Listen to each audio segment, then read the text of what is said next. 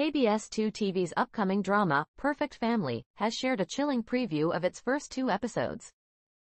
The trailer opens with the picture perfect family posing at an awards ceremony while a voiceover enviously states, your family is truly perfect.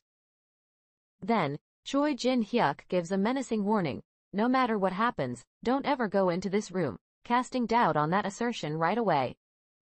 Shortly afterward, a fire breaks out in their family photo, igniting the beginning of a major tragedy.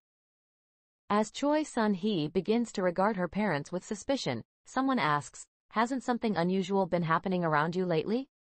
There's no need to be afraid, Choi Jin-hyuk then tells her, and Ha Eun-ju sobs as she says, if it's to protect you, Sun-hee, I'll do anything. The clip ends with a glimpse of a murder, followed by Choi Sun-hee asking with a tear streaming down her face, what happened last night?